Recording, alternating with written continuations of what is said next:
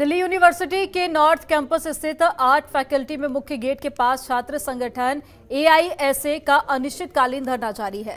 ये धरना पिछले एक महीने से ज़्यादा वक्त से जारी है। एआईएसए और कुछ दूसरे संगठन मिलकर इसका आयोजन कर रहे हैं। इन छात्र छात्राओं की मांग है कि दिल्ली यूनिवर्सिटी के कैंपस को खोला जाए। तो यह एक आपदा है।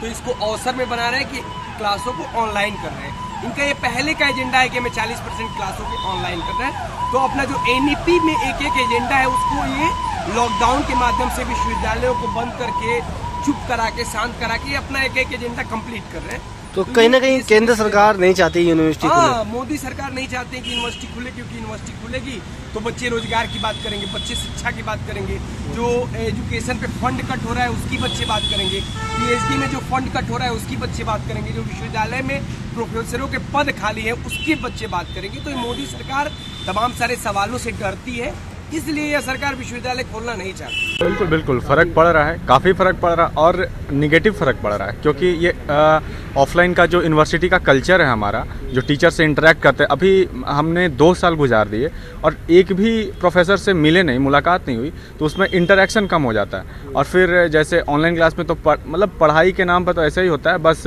टीचर आए बोले और टेक्निकल इशू हो गया नेटवर्क का इशू हो गया जैसे मैं बिहार से आता हूँ तो मैं अभी जैसे कुछ दिन गाँव गया हुआ था फेस्टिवल था गाँव गया हुआ था तो वहाँ पे बिल्कुल पढ़ाई नहीं हुई। तो क्लासेस तो छूट गई। जो लोग दिल्ली में हैं बॉम्बे अलग अलग जगहों से आ रहे हैं जिनके पास एक्सेस है जिनके पास एक्सेस नहीं है वो तो पढ़ नहीं पा रहे ना तो ये तो समस्या तो आ, आ रही है। देखिए हम जान रहे हैं कि पिछले डेढ़ दो साल से यूनिवर्सिटी बंद है। कोरोना के नाम पर यूनिवर्सिटी बंद करी गई है पर हम देख नहीं सकते उसी टाइम पे यूनिवर्सिटी में सब कुछ चालू है। रामजस कॉलेज में पीछे देखते हैं कि शादी हो रही है।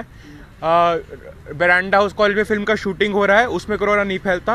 और जब आज छात्र बोलते हैं कि हमको कॉलेज में आके पढ़ना है, हमारी ऑनलाइन पढ़ाई नहीं हो पा रही तो ये यूनिवर्सिटी कोरोना का बहाना देती है, जो बिल्कुल ही गलत। खबरों के निष्पक्ष विश्लेषण के लिए सब्सक्राइब करें Janatantra TV and press the bell icon. Never miss any update